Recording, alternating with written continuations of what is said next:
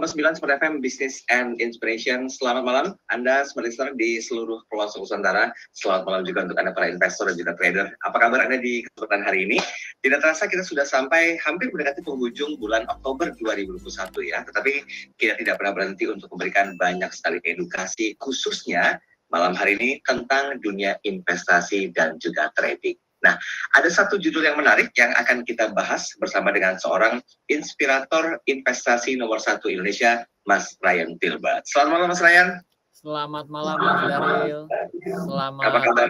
Ya, Sehat ya? baik. Selamat malam kepada seluruh smart listeners di mana pun Anda berada. Oke, okay, thank you. Wah, salam hormat nih dari Iya. inspirator investasi Indonesia. Gimana Mas Ryan? Ini Baik lagi di rumah atau lagi di jalan nih? Ini sudah di eh, kantor karena kalau Oke. saya pulang ke rumah nggak kekejar. Ah, siap, siap. Tapi, tapi udah mulai full WFO ya? Eh, saya karena di industri keuangan dari hari pertama dinyatakan pandemi masih eh, masih ini, terus. masih terus bekerja. Oke, baik. Mas Ryan, thank you waktunya. Ya, Eh, sama-sama. mungkin kita harus bahas per analisa judul dulu nih. Iya. Dua analisa saham wajib dipahami investor dan trader.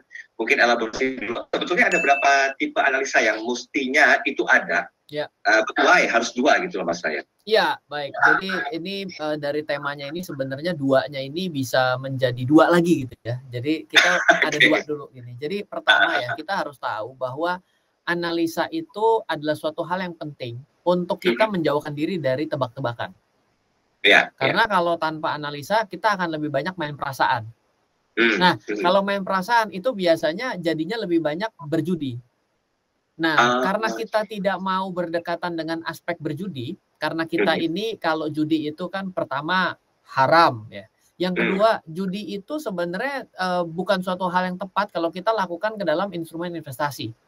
Oke. Ya lebih baik pergilah ke tempat judi yang benar. Oh, investasi dijudikan itu waktu hasilnya terlalu lama, Mas Daril. Contoh gini ya, kita bilang, ah kalau saya saham mah saya tebak-tebakan aja. Untuk mendapatkan hasil 100% dari tebak-tebakan saham, itu saya nggak tahu perlu berapa lama dan berapa kali bisa sampai tebakan itu mencapai nilai 100%.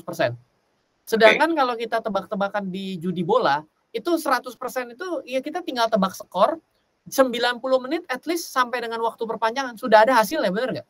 Yes. Berarti investasi itu kalau instrumen investasi dijudikan, hasilnya terlalu lama untuk mendapatkan hasil seperti kita berjudi di tempat beneran. Lebih baik judi aja, jangan investasi. Boleh ya di awal gitu dulu ya Make ngomongnya. ya. Iya, iya, Nah, langsung ya kan. Makin hari makin tua kita ini makin sadis kalau ngomong. Mas Daril ini saksi hidup. Oke, Oke, jadi fix ya. Ini cuma dua pilihan yang kita bahas ya sebelumnya tentang dua analisa saham ya, Mas Ryan ya. eh, dua menjadi dua, yaitu dua yang pertama ya, eh, yang namanya analisa itu harus kualitatif atau kuantitatif. Oke, tahan dulu di situ. Jangan dibocorin Oke. langsung. Kualitatif atau kuantitatif gitu ya. Ya. Karena banyak orang yang yang masih bingung nih eh, kalau kita melihat judul ini dua analisa saham wajib dipahami investor dan juga trader. Memang pemahaman se- selama ini seperti apa sih Mas Ryan? Nah, ya pemahamannya adalah ya orang ini tidak mau menguasai eh, tebak eh, nggak mau menguasai analisanya, hanya tebak-tebakan, hanya ngikutin orang, bergantung pada sesuatu ya akhirnya investasinya kurang bisa maksimal ataupun bergantung pada sesuatu itu kan kalau dia bablas hilang berarti kita nggak tahu mesti ngapa-ngapain. Itu Ya, yang paling betul. bahaya. Yang paling bahaya ya tanpa analisa.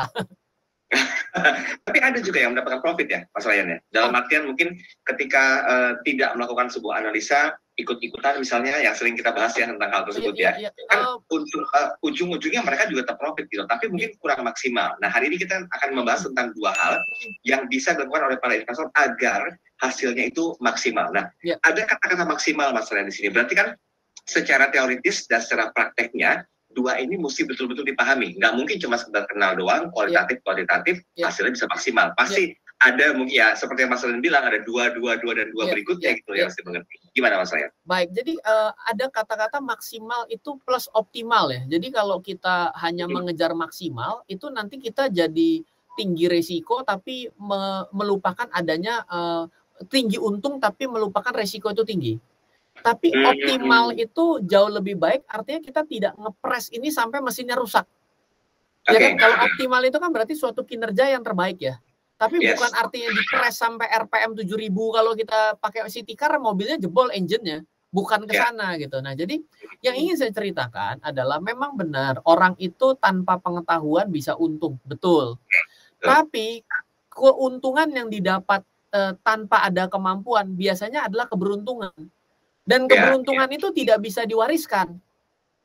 Nah, jadi kita itu apa yang kita bicarakan adanya edukasi. Sebenarnya ada pola-pola yang membuat orang cenderung sukses bila Aha. mengikuti pola analisa ini. yes. Kalau kita bilang ada tuh yang nggak ngapa-ngapain aja, ada nggak orang yang eh, nggak ngapa-ngapain tidur di rumah aja, tan- dimulai dari dia muda tapi dia sukses. Ada. Tapi masa cara itu yang akan kita wariskan atau kita ajarkan ke orang, yang mana kemungkinan suksesnya kecil. Mm-mm, Ya, jadi analisa ini membuat kemungkinan suksesnya menjadi besar, dapat Mhm. diduplikasi, dapat dilakukan di waktu yang berbeda. Oke. Jadi kalau kita bilang, Pak, kenapa dia sukses? Iya, karena dia masuk di waktu yang tepat. Kan kurang ajar banget dong. Berarti situ waktu kan tidak bisa berulang. Berarti sukses memang hanya buat kamu, saya nggak bisa. Ah, itu kan jadi nggak fair dong. Ya, ya, Analisis itu membuat itu menjadi bisa dibagikan kepada orang lain di waktu yang berbeda. Begitu dilakukan, memungkinkan kemungkinan hasil suksesnya lebih tinggi. Itulah kenapa kita harus depends on analytical seperti itu. ya. That's why kenapa menganalisa itu penting gitu ya. Walaupun nanti kita harus bahas juga nih Mas Ya. Ryan. Tadi kan saya sempat mengatakan juga dan juga Mas Ryan sempat merespon positif tentang hal yang berhubungan dengan faktor luck ya. Ya. Ada kok orang-orang yang memang mereka tuh nggak tahu ilmunya karena hokinya juga bagus terus, keberuntungan selalu bersama dengan dia. Ketika mereka investasi atau mereka trading ya eh, profit-profit aja, cuan-cuan aja. Nah nanti kita coba sandingkan nih. Ya. Kalau memahami dua analisa ini ditambah dengan faktor luck, itu Ya. gimana sih hasilnya? Apakah memang bisa maksimal atau tidak. Ini sekedar untuk pelengkap aja karena ada dua kubu yang masih bertahan nih Mas Rian ya. Ya. Analisa dong, ya oke, hasil lu biasa aja kan. Gua nggak analisa juga hasil gua lebih keren dari lu. Misalnya, Ngapain? kita Ngapain? Ah. itu dia, itu faktanya begitu ya Mas Rian Ya, ya. ya. Nanti nanti kita coba bahas lebih detail di sesi yang berikutnya. Sem- eh, jelas dan juga Mas Rian Filbert, kita break sebentar.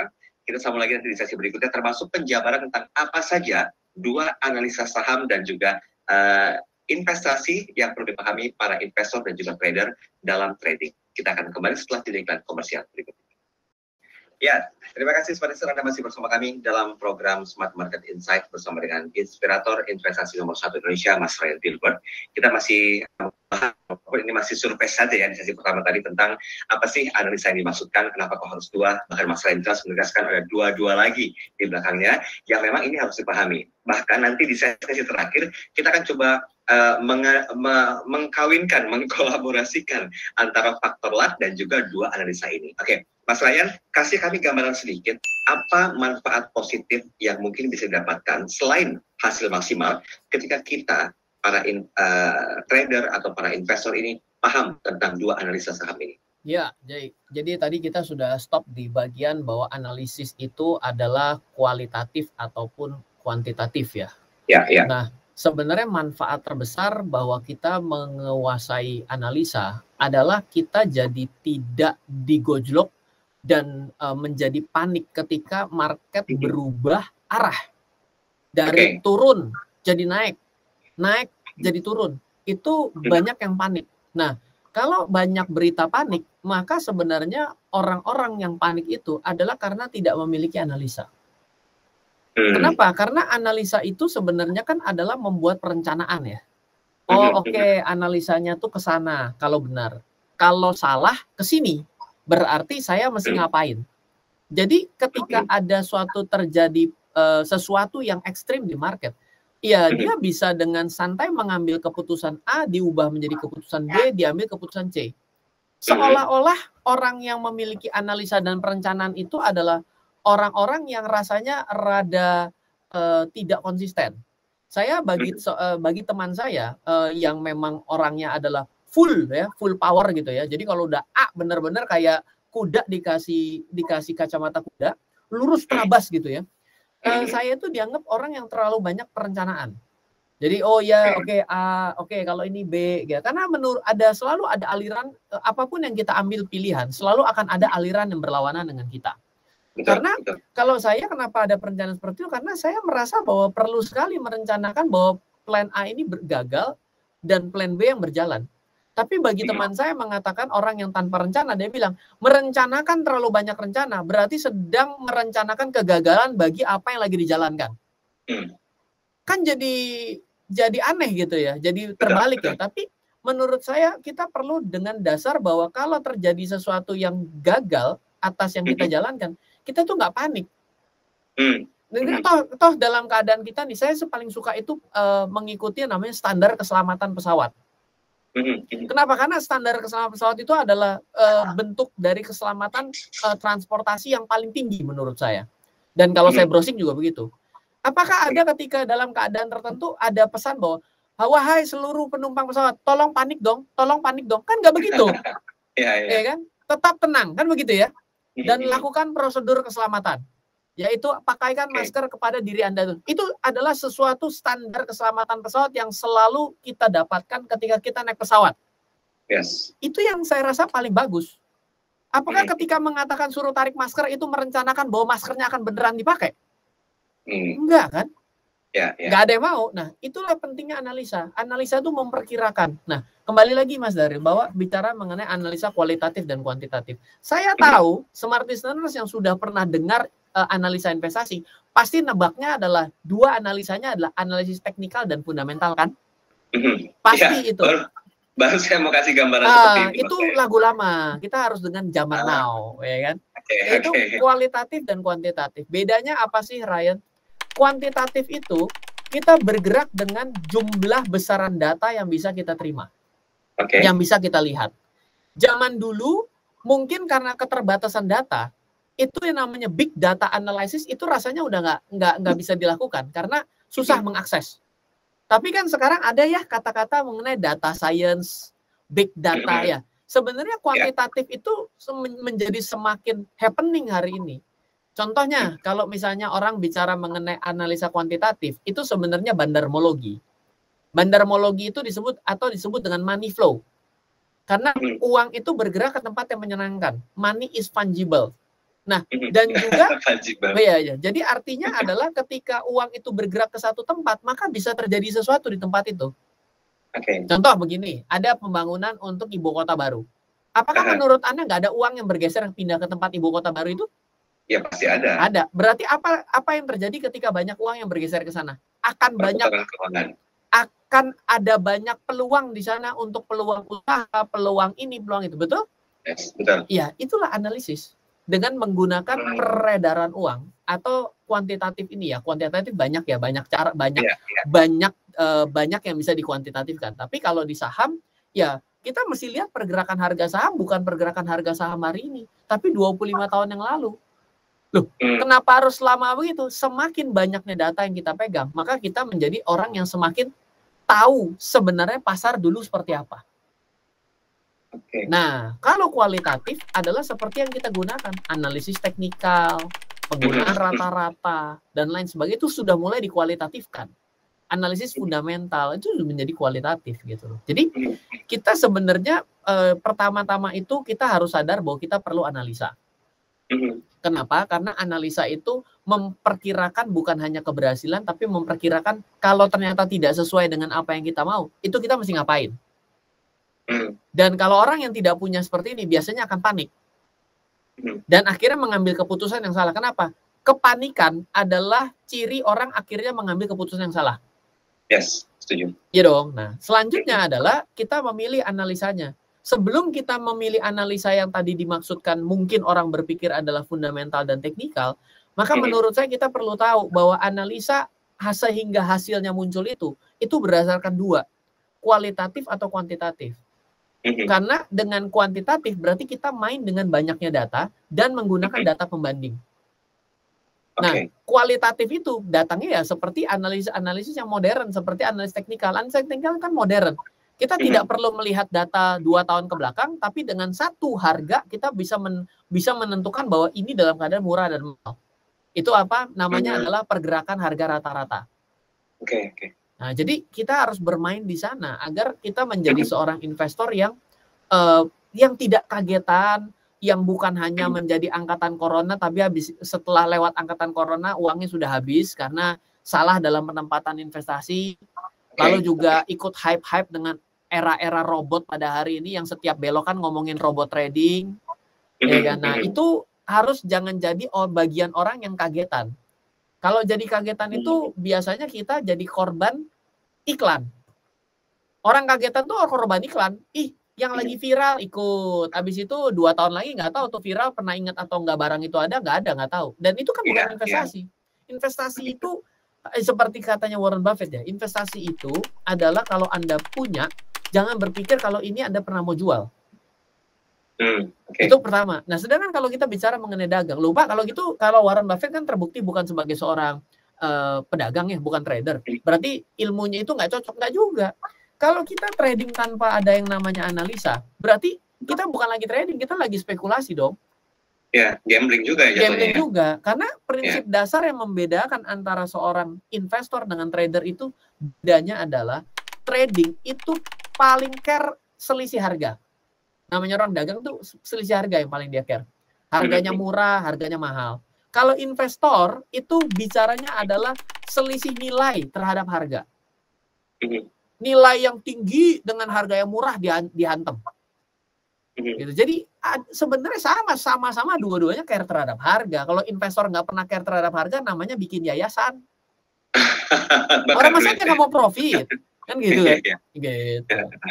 Oke, okay. Mas Ren, tapi apakah mungkin dua analisa ini itu uh, idealnya itu diaplikasikan kepada ke investasi kah atau ke trading kah? Karena tadi Mas Ren mengatakan ini sebenarnya dua hal yang berbeda gitu loh. Belum tentu investor ini menggunakan dua analisa ini, Betul. trading juga menggunakan dua analisa ini. Hmm. Apakah dua-duanya juga bisa bisa dalam konteks tertentu bisa digunakan dua analisa ini? Ya, kalau kita menjadi orang yang terbuka, sebenarnya semua analisa di dunia ini saling melengkapi. Tapi ada beberapa orang ataupun beberapa pemahaman mengatakan bahwa kalau orang dagang itu lebih te tepat menggunakan analisis teknikal. Uh, reasonable, kenapa? Karena analisis teknikal itu benar-benar pedulinya terhadap harga dan jumlah. Hmm. Benar-benar peduli di sana. Sehingga titik berat mengenai laporan keuangan menjadi sesuatu yang agak terlalu lama hasilnya untuk digunakan seorang analis teknikal.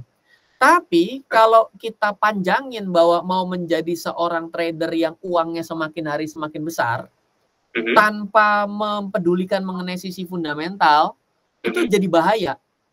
Kenapa? Karena mm-hmm. ada saham dengan uang kecil dia bisa masuk dan keluar dengan gampang. Mm-hmm. Tapi seiring dengan uang besar, ada saham yang bagus secara harga, dia masuk, susahnya keluarnya susah. Mm-hmm. Bayangan begini, saya mau dagang, saya mau beli properti, untuk dagang properti, saya beli cuma satu aja rumah di Pondok Indah. Mm-hmm. Nah, berarti eh, kita ngikutin harga pasar dong. Saya cuma yeah. punya satu. Sekarang seluruh rumah di Pondok Indah punya saya. Lah tiba-tiba jadi susah untuk jualnya karena aturan-aturannya kan jadi ya kembali lagi ke kamu. Kamu bagaimana mau jualnya. Nah, itu yang terjadi. Kita harus bisa tahu bahwa dagang itu juga ada prinsip seperti itu. Nah, sedangkan kalau investasi itu lebih dekat dengan analisa fundamental. Kenapa? Karena yang dilihat itulah harga pembentuk nilai nilai yang dibentuk atas semua bisnisnya itu semuanya kan adanya di dalam laporan keuangan dong. Pendapatan perusahaan, laba perusahaan, hutang perusahaan, biaya perusahaan, aliran uang perusahaan. Penting buat tahu kenapa? Karena ketika kita bicara investasi adalah membeli saham misalnya adalah membeli perusahaannya.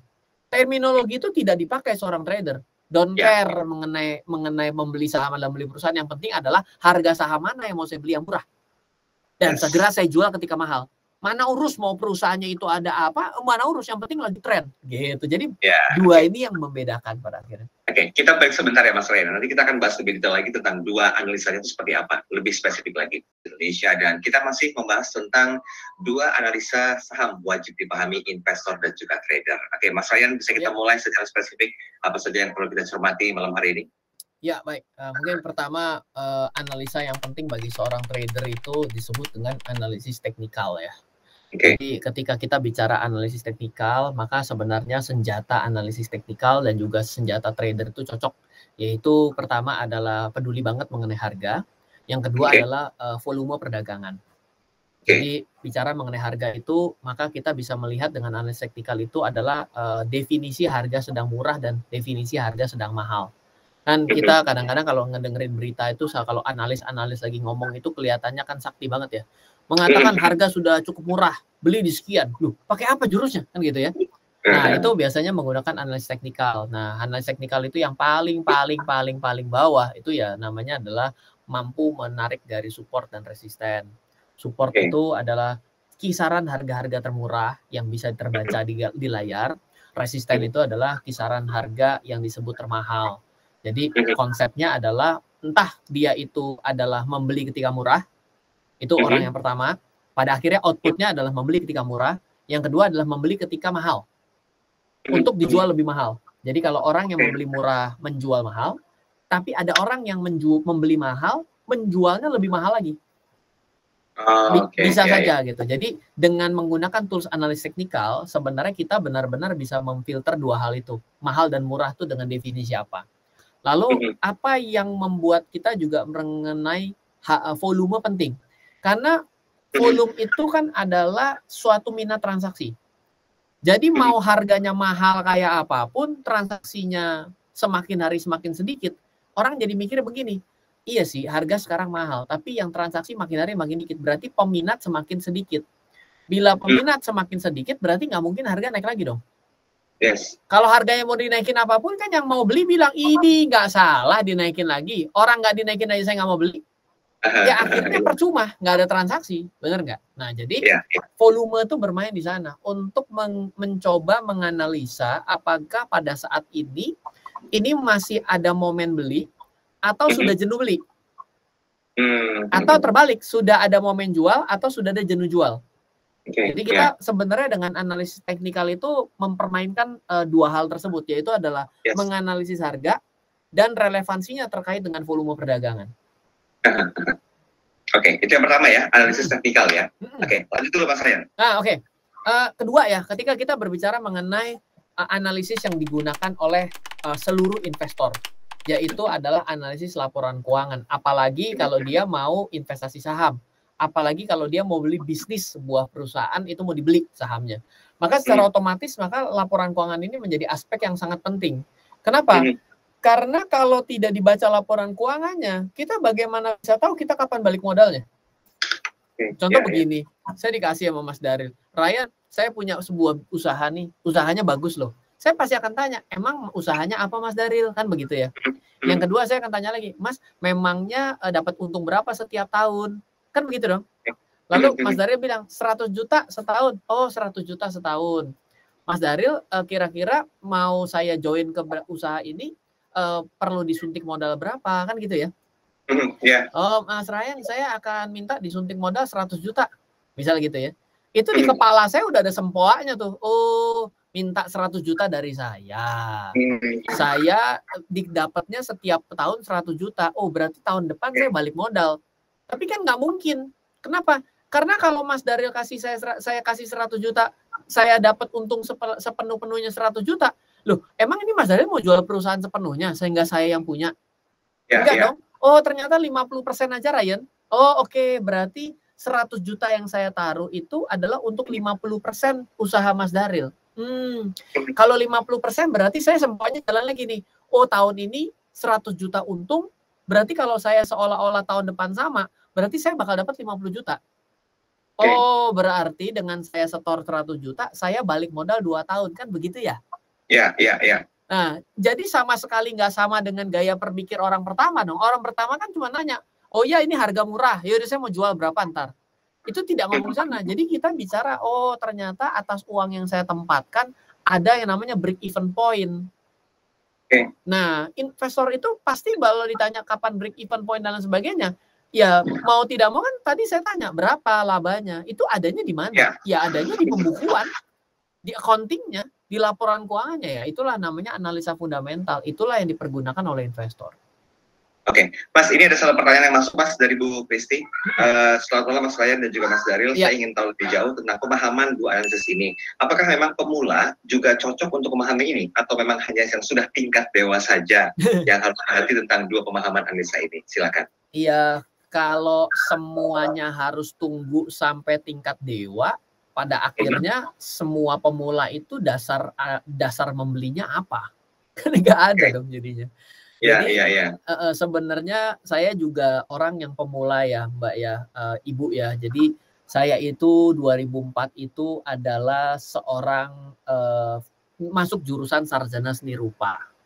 Mhm, Jurusannya mhm. desain komunikasi visual. Papa saya orang anti saham. Jadi saya penuh penolakan. Lalu saya itu uh, tidak memiliki latar belakang yang cukup untuk mengenal dunia investasi dan keuangan gitu ya. Tapi ya memang harus berani menginjakan kaki, harus ada the first step-nya itu harus jalan. Dan yeah, yeah. sebenarnya nggak ada yang namanya ilmu tingkat dewa di sini. Kalau ilmu tingkat dewa itu pasti nggak bisa salah dong. Sebenarnya ilmu tingkat dewanya itu udah kita miliki loh sehari-hari. Saya yakin deh, oh, mohon maaf tadi Mas Dara namanya Ibu siapa?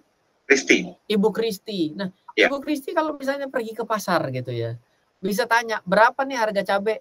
65 ribu. Ih mahal amat sekilo 65 ribu. Itu analisis teknikal itu. Itu analisis teknikal. Kok bisa analisis teknikal loh? Iya pasti analisis teknikal. Sekarang saya tanya, kenapa bisa sebut 65 ribu mahal? Soalnya kemarin 30 ribu. Lah, tadi kan kita ngomong yang namanya support itu adalah kisaran harga terendah. Resisten itu adalah kisaran harga termahal berarti tiba-tiba di kepala kita itu menganggap bahwa 65 ribu adalah harga yang mahal, 30 ribu adalah harga yang murah dong. Iya. Iya dong, tiba-tiba bilang Betul. yang yang tukang jual cabenya bilang gini, ya udah kalau gitu ibu mau beli di harga berapa? Ya kayak kemarin lah pak, 30 ribu lah ya, lagi lagi lagi teknikal itu, lagi teknikal analisis itu terjadi gitu. Jadi nggak ada ilmu tingkat dewa di sini yang membuat kita menjadi semakin uh, bukan jago ya. Saya juga sampai hari ini kalau disebut jago rugi mah juga banyak gitu ya. Ya, tapi banyak kan untungnya gitu ya. Dan semua besar investasinya. Yang penting tuh bukan selalu benar nggak mungkin selalu benar tuh nggak mungkin. Tapi membesar investasinya stay di investasi selalu berinvestasi itu tuh yang membuat kita menjadi lebih baik gitu ya. Jadi eh, ketika kita menjadi semakin hari semakin menguasai sebenarnya kita itu akan semakin bermain dengan pengalaman jadi experience kita itu membuat menjadi lebih tenang, menjadi lebih gampang memilih, waktu yang kita habiskan menjadi lebih sedikit dalam menganalisa. Itu saja yang membedakan. Mungkin kalau untuk orang yang pertama, waduh saya bingung sekali ya gimana cara menganalisa.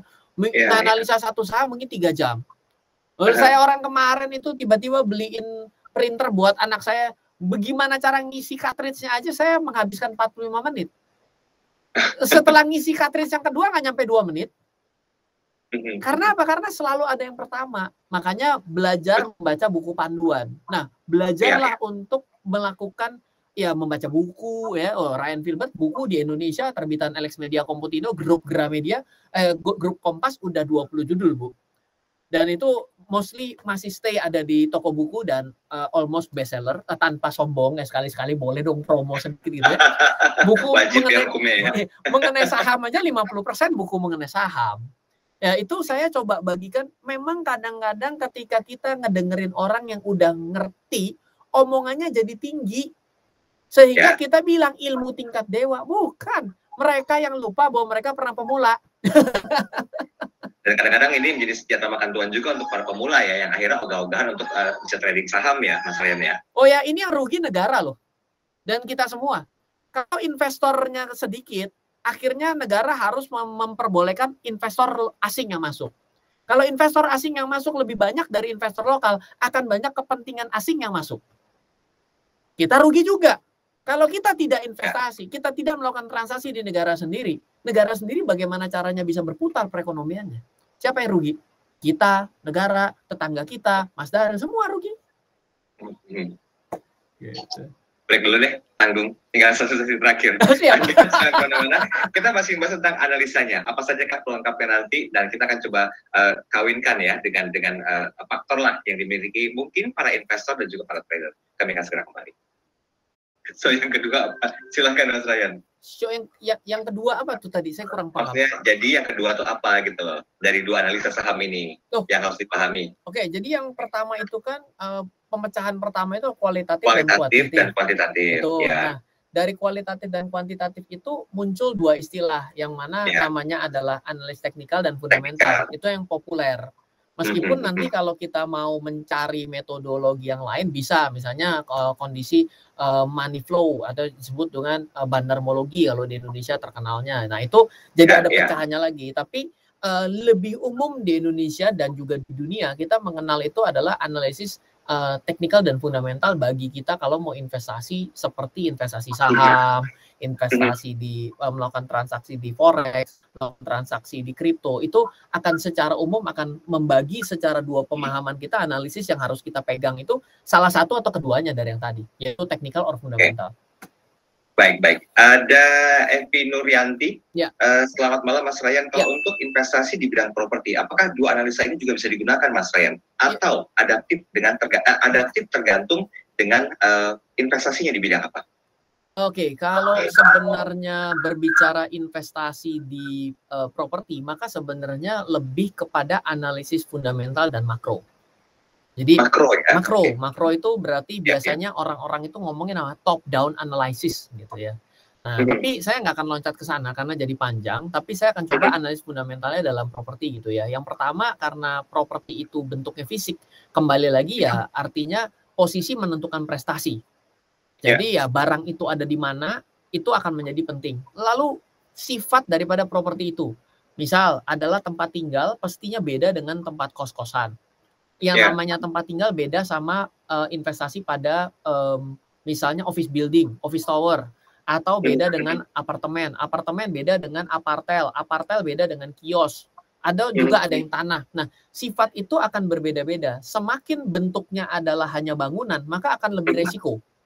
Misal, okay. investasi lebih eh, properti lebih aman mana beli eh, rumah tinggal atau beli apartemen? Oh ya jelas. Kalau apartemen itu kan adalah rumah ngawang-ngawang yang ada di udara gitu. Yang hmm. tanahnya kecil sekali punya kita strata title. Sedangkan kalau yeah, kita yeah. beli tanah properti itu kan setanah itu seproperti kita sebangunan kita. Hmm. Nah, jadi memiliki resiko yang berbeda. Tentunya analisis eh, nilai fundamentalnya juga nggak sama. Kita kalau misalnya tanah, kita menghitung daripada tanah dan bangunan, lalu kita berbicara lagi berapa nilai sewanya. Saya sampai orang yang melihat dengan sudut pandang rental yield ya, itu penting buat saya gitu ya. Nah, lain daripada itu juga analisis prospek ya. Uh, tempat ini akan jadi ke mana depannya? Nanti akan jadi apa? Oh ini akan dilewati apa nantinya. Makanya banyak orang yang spekulan-spekulan kemarin ketika berbicara mengenai kereta cepat kan ada banyak spekulan yang membeli gitu kan. Nggak taunya batal belok. Wah belok berarti uh, investasinya bubar jalan. Nah itu ya namanya awal dia investasi benar-benar based on kemungkinan ke depan tanpa melihat latar belakang hari ini ya berarti dia lebih banyak unsur tebak-tebakan ya kan. Oke oke. Nah ini kadang-kadang juga uh, tingkat keberuntungannya atau tingkat akurasinya juga bisa dibilang besar ya Mas Ryan ya. Ketika tebak-tebakan itu memang berdasarkan uh, perkembangan atau berita atau news yang beredar ya Mas Ryan. Iya, kalau kita investasi itu uh, ada orang itu selalu dua ya. Benar-benar uh, duduk pada yang ada di masa depan. Ya, dia ya. jadikan sebagai alasan membeli hari ini. Atau ada okay. orang yang membeli akibat alasan hari ini. Hmm. hmm. Contoh gini ya, Pak, Bapak kalau yang contoh membeli akibat hari ini, oh saya gampang dong. Saya akan beli perusahaan, misalnya saya mau beli perusahaan otomotif, ya udah saya mau cari yang sudah memproduksi hari ini, sudah ada rekam jejak produksinya, sudah ada purna jualnya, udah ada ini, udah ada itu, udah ada ini, udah ada itu. Oke, saya beli yang ini. Berarti kenapa? Karena saya melihat masa lalunya. Tapi ada orang yang oh ya Pak, hari ini saya akan melihat yang namanya mobil masa depan Pak, mobil tanpa berpeng dan tanpa awak, ramah lingkungan, bisa jalan sendiri, kadang terbang, bisa pesen yang namanya spare partnya sendiri. Ya udah dia beli tuh mobil elektrik yang hari ini lagi ramai. Jadi dia membeli masa depan dengan harga hari ini. Anda mau investasi yang mana? Yang jelas ini lebih konservatif versi pertama. Karena dia melihat apa yang ada hari ini dia beli. Kemungkinan dia gagal dan berhasil seperti yang dia lihat sekarang tapi kalau membeli masa depan, kemungkinan berhasil dan gagalnya ya lihat ke depan. Based on luck-nya lebih tinggi dibandingkan dia menggunakan yang as is pada saat ini ada. Oke, okay, baik, baik. Kita singgung sedikit seperti yang sudah kita sampaikan tadi di awal. Ada orang-orang yang mungkin masih bertahan dengan faktor luck ya Mas Ren ya. Oh, ya. saya nggak perlu menganalisa uh, profit terus kok, cuan terus kok, investasinya untung terus kok. Nah, uh, bagaimana sebetulnya mengkawinkan keduanya antara orang yang memahami atau para investor atau para trader baik pemula atau mungkin yang sudah uh, senior itu paham tentang analisa ini ya. uh, sama dengan uh, faktor luck ini. Ini uh, perbandingannya bagaimana Mas Ria dan juga probabilitasnya? Iya, jadi begini ya. Uh, kalau dari saya, ketika uang Anda sedikit yang Anda mulai investasikan gitu ya, ya boleh dibilang kalau sedikit tuh ibaratnya kalau antara berhasil dan gagal itu nggak terlalu membuat Anda kenapa-napa, maka mungkin silahkan Anda gunakan faktor luck lebih besar. Kenapa? Karena kalau uangnya sedikit, walaupun dia lipat tiga sekalipun kan nggak berimpact banyak. Tapi seiring dengan uang Anda yang Anda investasikan membesar, itu tidak bisa lagi dengan menggunakan hanya faktor uh, tebakan. Karena kalau Anda tebak-tebakan terus, Anda jadi seperti God of Gambler gitu ya. Ya itu menurut saya kurang tepat dalam kata-katanya Anda investasi tapi tebak, nebak gitu. Jadi uh, jadi jadi geser gitu. Nah, jadi kalau misalnya menurut saya pribadi ya, tidak mungkin kita itu uh, menghindari yang namanya faktor keberuntungan. Udah dipersiapkan sebaik mungkin, masih ada peluang gagal. Itulah yang namanya kehidupan kita. Tapi kalau kita benar-benar menggantungkan atas keberuntungan, yang lainnya kita tiadakan, ah, itu lebih uh, itu menjadi uh, konsep perjudian sendiri, konsep tebak-tebakan sendiri. Jadi jalan tengah saya begini ya, saya bilang yang namanya beruntung, orang beruntung itu mengalahkan orang yang rajin. Ya, betul. Orang rajin itu mengalahkan orang pintar. Mm-hmm. Nah, tapi kalau bagaimana caranya menghasilkan keberuntungan adalah dengan cara rajin loh. Mm-hmm.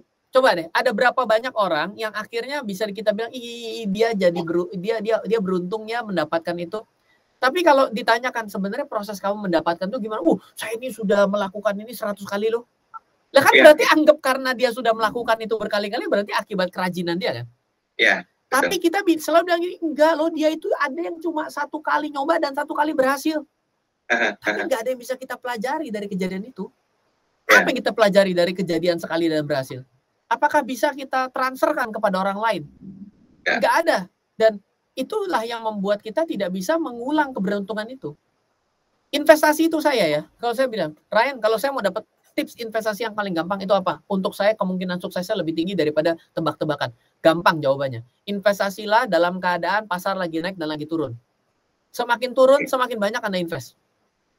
Kok bisa ngomong gitu? Karena berdasarkan data, saya sudah membaca data dari tahun 1890. Berarti saya menggunakan data kuantitatif saya kan? Iya. Loh Ryan, terus waktu data kualitatif kamu nggak gunakan? Oh saya gunakan. Ini tadi semakin turun semakin dibeli. Lah, kan tadi ikut harga cabai 65 ribu sama 30 ribu kan? Hmm. Nah, jadi sebenarnya saya menggunakan itu semua. Tapi saya simplifikasi bahwa ya. hoki saya nggak bisa lawan. Caranya ya, ya. ada bagaimana? Beat the luck itu. Jawabannya gampang. Terus lakukan. Oke, jadi kesimpulannya sebetulnya untuk bisa ketemu dengan luck itu sendiri, ya memang di satu sisi ada orang yang benar-benar beruntung gitu ya Mas Ryan, tapi tidak bisa ada repeat yang men, uh, yang uh, apa, uh, terus berlangsung gitu ya. Tapi kalau luck itu ditemukan karena dia belajar mampu menganalisa baik secara kualitatif dan juga kuantitatif ya udah faktor luck akan ada terus ya. Iya jadi proses itu part of proses ya. malahan. Part of proses baik. Mas Ayan satu menit saja kita ambil konklusi pembicaraan kita hari ini silakan. Ya baik. Wow tema hari ini kelihatannya berat ternyata tidak terlalu berat gitu ya. Yes. uh, menarik sekali. Jadi untuk uh, Bapak Ibu uh, smart listeners di mana pun anda berada menurut saya bila anda ingin melakukan sesuatu kepada uang anda anda perlu lakukan secara bertanggung jawab kalau Anda seiring dengan waktu investasi itu harus yang semakin hari semakin besar. Kenapa? Karena ya, ya. itu adalah uang bagi masa depan kita. Itu versi saya. Ya. Saya nggak tahu bagaimana dengan Anda. Jadi ya okay. perlu kita lakukan dengan dasar analisa. Analisa ya. itu nggak perlu Anda kuasai semua. Anda nggak mau menjadi pengganti Ryan Filbert di Smart FM untuk memberikan edukasi kan. Saya kenapa kenapa berusaha untuk menguasai banyak hal? Karena saya merasa saya haus akan ilmu dan saya haus akan uh, sesuatu yang menjadi aktualitas gitu loh. Jadi saya belajar itu. Tapi sejauh pengalaman saya tidak perlu semua orang itu menguasai semua. Mulailah dari salah satu, nanti Anda akan tahu apa kelemahan dan keunggulannya. Anda tinggal punya pilihan mengganti, memodifikasi atau meneruskan atas analisa yang Anda gunakan itu. Thank you Mas Ryan waktunya. Siap. Semoga dua uh, analisa ini betul-betul bisa dipahami dan menjadi sebuah modal dasar ya, baik untuk para pemula, kalau mungkin juga para investor dan trader yang sudah uh, hatam banget, ya makin bisa menurture analisanya agar lebih jitu lagi dan dekat dengan faktor luck tadi. Siap. Mas Adi, thank you. Sehat-sehat. Kita ketemu lagi di Rabu minggu depan dengan tema dan bahasa yang berbeda. Halo, terima kasih sudah menyaksikan video di RF Channel on YouTube. RF Channel adalah channel edukasi untuk kita secara bersama-sama belajar dan mendapatkan aktualisasi mengenai investasi, keuangan, dan bisnis bersama saya, Ryan Filbert, dan tim. Add nomor WhatsApp saya di 0895 07 08 0789 0895 07 08 0789 Download aplikasi MyRF di Android atau iOS untuk mendapatkan artikel dan tema-tema khusus mengenai edukasi investasi, keuangan, dan bisnis pada aplikasi MyRF sekarang juga. Setiap bulan, saya bersama dengan tim memiliki kelas, mulai dari belajar trading dengan analisa teknikal, yang strateginya bisa Anda terapkan pada seluruh market, mulai dari saham, forex, hingga cryptocurrency, atau kelas investasi saham bernama Fundamental Camp. Untuk mengetahui kelas lainnya dan bertanya mengenai kelas, hubungi tim sekarang juga di 0852 882 6187. Sekali lagi, 0852 882 6187. Semoga terus bermanfaat. Dari saya Ryan Filbert, salam investasi untuk Indonesia.